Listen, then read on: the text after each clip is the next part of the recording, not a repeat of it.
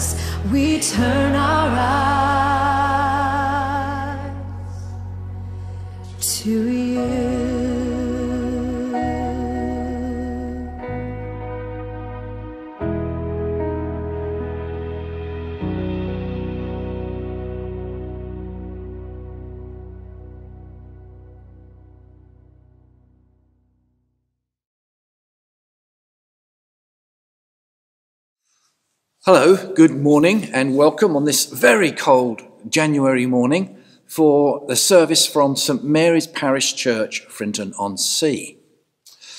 Good morning and welcome. Here is an opening prayer for us for today. As we remain in the safety of our own homes, we thank you for fellowship, friends, and family we ask, Lord, that you will strengthen us, restore us, and inspire us with your love. Lord, fill us with your peace, so that as we journey onwards with you, we would pour out your love and your grace to others around us.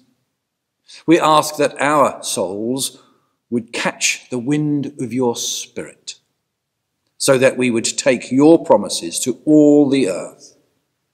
We ask this in Jesus' name. Amen.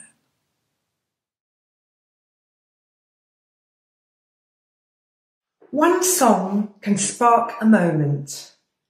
One flower can wake the dream. One tree can start a forest. One bird can herald spring. One smile begins a friendship. One handclasp lifts a soul. One star can guide a ship at sea. One word can frame the goal. One vote can change a nation. One sunbeam lights a room.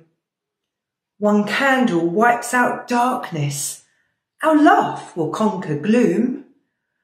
One step must start each journey. One word must start each prayer. One hope will raise our spirits. One touch will show you care. One voice can speak with wisdom. One heart can know what's true. One life can make the difference. You see, it's up to you.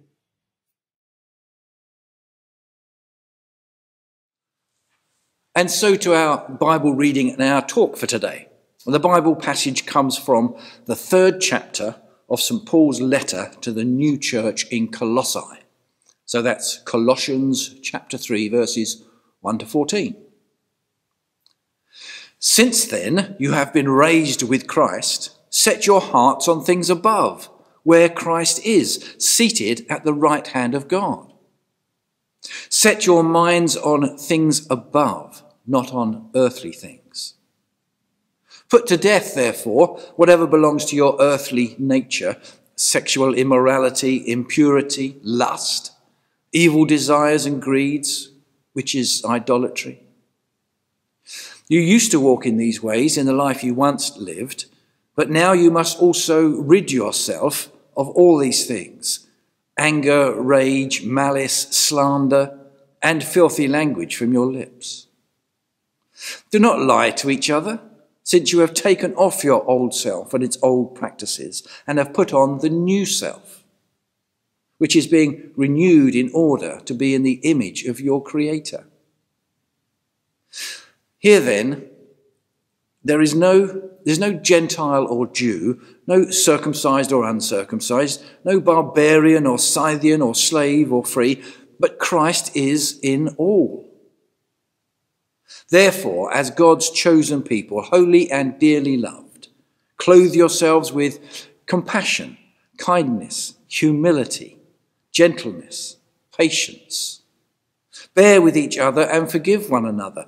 For if you have a grievance against another, you wish forgiveness. Forgive as the Lord forgave you. Over all these virtues, put on love, which binds them all together in perfect unity. Well, there's our reading for this morning. Let me ask you a question. Do you like shopping for clothes?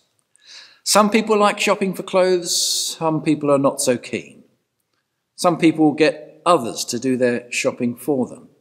Now, whether you are a shopper or a shopping phobic person, you've probably experienced that moment when you've tried on something new, a new dress or a new suit of clothes, and you've looked at yourself in the mirror and you feel a whole lot better about yourself. For me, that seems to happen the moment I put the first thing on. For some reason unknown to me, my wife puts on 78 dresses, suits, tops, bottoms, or combinations of above before settling on the first thing that she tried on. But we've come to an arrangement over the years, my wife and I. I help her to enjoy her shopping experience by staying at home. And she helps me experience watching football by going shopping. That's just fine by me. You feel better though with a new suit of clothes on, don't you? Because you look a whole lot better. That's why there's such a huge industry around the buying of clothes. We buy not because we need new fabric, not because the many fabrics that we've got are worn out, but because by putting on new and shiny things, we feel better about ourselves. At our latest wedding in the family, our latest son got married, we were all dressed up in our finery, men in frock coats and cravats, hired, ladies in fancy dresses and trouser suits, purchased, and we all felt a million dollars. By the way, have you noticed how when you're trying something new on, the old clothes that you're wearing, the clothes that you thought were pretty good for going shopping in, they seem even older and uh, seedier or tired looking somehow. And suddenly you realize that you'd been hanging on to those old clothes for too long. In Ephesians chapter 4, Paul says this You are to put on the new self, created to be like God in true righteousness and holiness.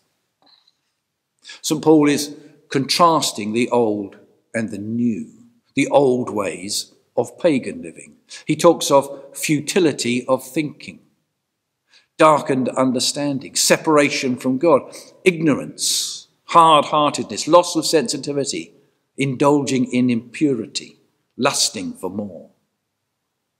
He contrasts those things with new ways of Christian living. To be a Christ follower, he says, means to put off your old self and to put on your new self.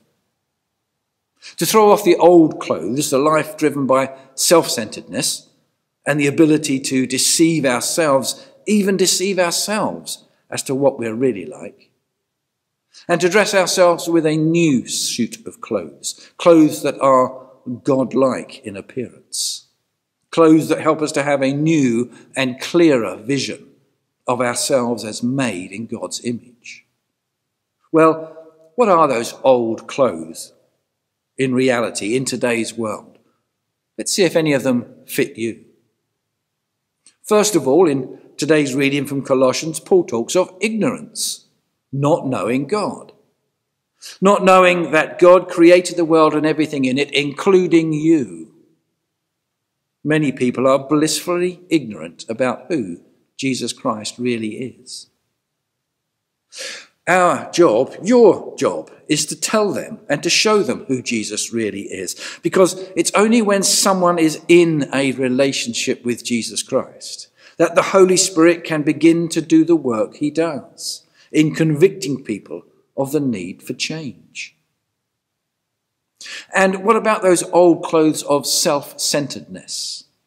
Being so wrapped up in you and your own world that you fail to see God's world and God's people around you. Failing to put God first, holding on to you as the focal point of your life. If we're honest, we all tend to be a bit self centered before we learn to become God centered. We tend to worry about what others will think of us, what others will, that they will think well of us. It's entirely natural and normal to be like that. Jesus, on the other hand, never worried what he appeared like or whether he was loved by those around him, because he knew for sure that he was loved by his Father in heaven. Jesus' great security was the love of and the love for God, his Father. Our great security in life should not be whether we are liked more than this person or that person, but that we are loved by our Father in heaven. And therefore, we should love other, other people and love ourselves in the way that God loves us. We should be God centered, not self centered. And then Paul talks about being complacent. This is where you might have an understanding of God and of Jesus, but are unwilling to do anything about it. Why bother? Nobody requires me to change, so why bother to? It's the I don't have to. You can't make me. I know my rights. attitude? I can just hum along and pick and choose the bits of religion that I like and disregard the rest. If Jesus died on the cross for you, is that any way to thank him, to honour him, by being half hearted and self righteous in following him? Complacency is something we, each of us, can choose to do something about. Well, these are some of the things that we see in those around us, in family, friends, colleagues. Some of them you may even see in yourself. All of them ignorance, limited thinking, self centeredness, contempt, complacency, greed they're all the old clothes, part of the non Christ like way of life. Make no mistake, to give into this lifestyle is un Christian. And in case you've been a Christian for a while, don't think that you are cured of all these things. We must constantly be on the lookout for these types of attitudes and behaviours cropping up within us. So, what then does the Word of God urge us to be like instead? After all, if we take off one set of clothes, we need something else to put on. What are the Christian alternatives to those lifestyles? Well, instead of ignorance, we must be transformed by the renewing of our minds. Romans chapter 12, we find that. But it's no use coming to church on a Sunday and being nice and Christian and then going about the rest of the week with the old clothes lifestyles of anything goes. That's just hypocrisy. How are we to renew our minds? I'll tell you up front, there are no hidden catches. It's dead easy becoming a, a Christian, but it's hard work living as a Christian in a non Christian world. When the idea of joining a midweek home group comes up, perhaps for this new year ahead of us, well, join one. They exist to aid you in the living of the Christian life through Bible study, prayer, and fellowship. That is the church. Christians meeting together to strengthen one another. Don't give in to ignorance, but work at renewing your mind. Second thing is, we need to be God centered and not self centered. Colossians chapter 3. Since then you have been raised with Christ, that is, we have eternal life. Set your minds on things above. Set your minds on things above, not on earthly things. God centered, not self centered. Put to death, it says, therefore, whatever belongs to your earthly nature, those old clothes, and rid yourselves of these ways. Do not lie to each other, since you have taken off your old self with its practices, you can put on the new self. Put to death, rid yourself, take off the old self. Strong words, aren't they? We're being called to make some changes here, not just dawdle along in our own sweet way, but to look honestly at who we are and how we live, and where needed to do something about it. And then we come to the new clothes. Therefore, as God's chosen people, holy and dearly loved, clothe yourselves with compassion, kindness, humility, gentleness, patience. These are the clothes that Jesus wore, are they not? He was compassionate with those in need. He lived his entire life in complete humility. He was endlessly gentle and patient. Jesus clothed himself in the very likeness of God. And we are called to be clothed in no less a fine suit of clothes ourselves. Have you taken the emphasis off what you want and replaced it with what God wants? God centered, not self centered. And then there's commitment, not complacency. Whatever is true, whatever is noble, whatever is right, whatever is pure, whatever is lovely, whatever is admirable. If anything is excellent or praiseworthy, think about such things. Don't see any call to complacency here, do you? What I see is a call to the finer things in life. We should be filling our lives with the goodness that comes from God. and not the dross that comes from conforming to this world.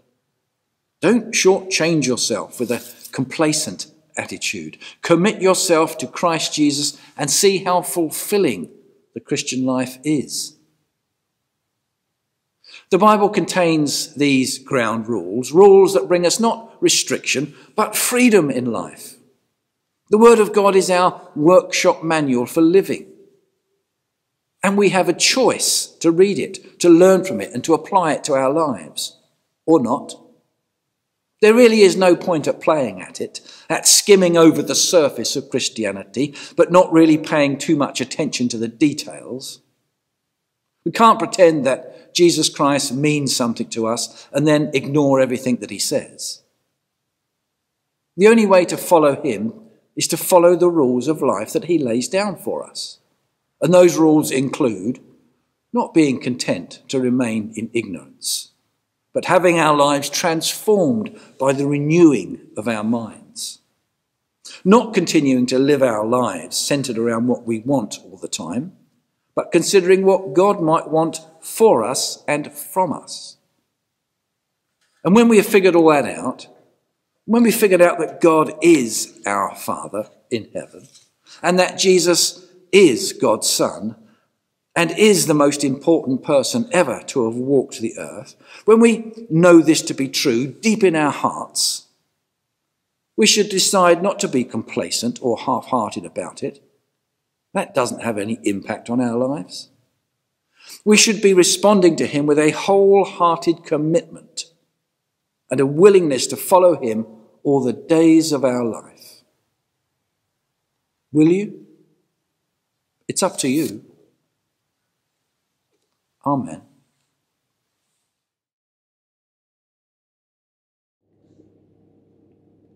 Almighty God, you see and know all things regarding us and the life you have given us. When we forget you, when we put other things before you, please have mercy on us. Forgive us, Lord. We pray that your mercy be upon our families, on those people around us we know and those who are strangers to us. On the lost who seek you, may they know forgiveness, turn to you and walk in the light of your love. Merciful Father, please keep our eyes and our hearts fixed on you, that we may seek only you and to do your will. Do not let us drift from you, but keep us near and forgive us our sins, that we, we may be renewed by your Holy Spirit through our Lord Jesus Christ. Amen. Lord Jesus, the world around us continues to fall away from you and to be gripped in turmoil, lies, confusion, and fear, trusting only in itself for solutions to the problems it has caused. Those things often taken for granted and looked to for security and assurance disappear daily, causing yet more uncertainty and often despair. Please help us to discern your will and to remain focused on you against this backdrop, placing our trust only in you and not the institutions, technologies, and schemes of this world. Lord, you are the way, the truth, and the life. Please guide us, sustain us, nurture us in all we do, in our actions, deeds, and thoughts, so that we may glorify our Heavenly Father through you. In your name, Lord, we pray. Amen. Heavenly Father, the enemy appears to grow in strength all around us, often using the divisions of fear, isolation, and mistrust that permeate in the current world pandemic. Therefore, we thank you, Father, for our blessed Lord Jesus, the solid rock that we cling to. We pray for courage, strength, and faith in you to stand up for him as soldiers of the cross and to bear witness to the good news of Christ crucified with the blessed hope it brings. In his name we pray. Amen. Almighty God, it is so easy to be drawn into worldly, selfish views and concerns. Please fill us with your Holy Spirit that we may serve only you. You commanded us to love our neighbour. Please help us to remember and assist those around us in need, both spiritually and physically. We offer our prayers for them that they may know comfort and peace through your mercy in the name of our Lord and Saviour, Jesus Christ. Amen. And now the Lord's Prayer. Our Father in heaven, hallowed be your name. Your kingdom come, your will be done, on earth as it is in heaven. Give us today our daily bread. Forgive us our sins, as we forgive those who sin against us. Lead us not into temptation, but deliver us from evil. For the kingdom, the power, and the glory are yours, now and forever. Amen. And so we come to our blessing for today. The love of the Lord Jesus draw you to himself. The power of the Lord Jesus strengthen you in his service. The joy of the Lord Jesus fill your hearts. And the blessing of God Almighty, Father, Son, and Holy Spirit be among you and remain with you always. Amen. Stay safe, everyone. See you soon.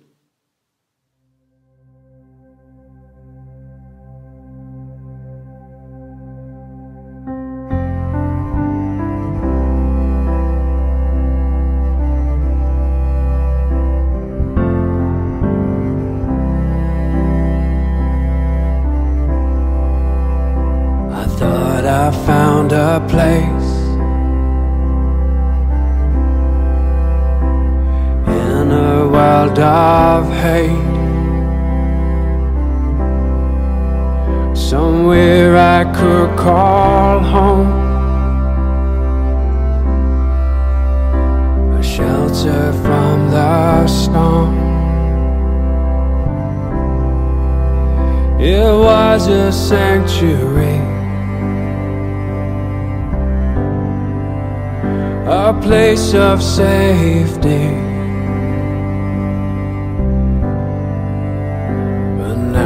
I find it's gone.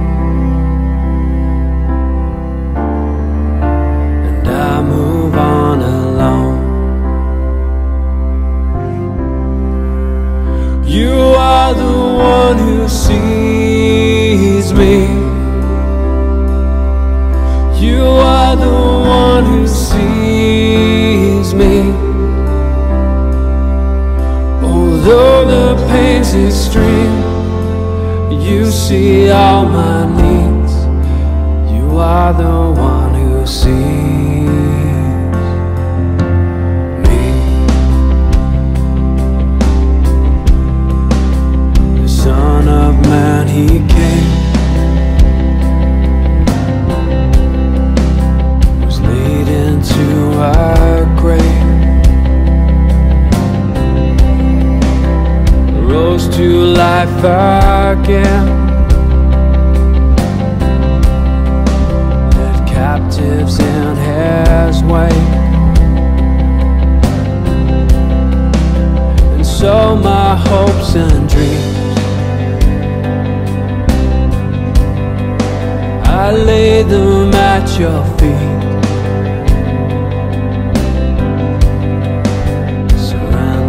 all my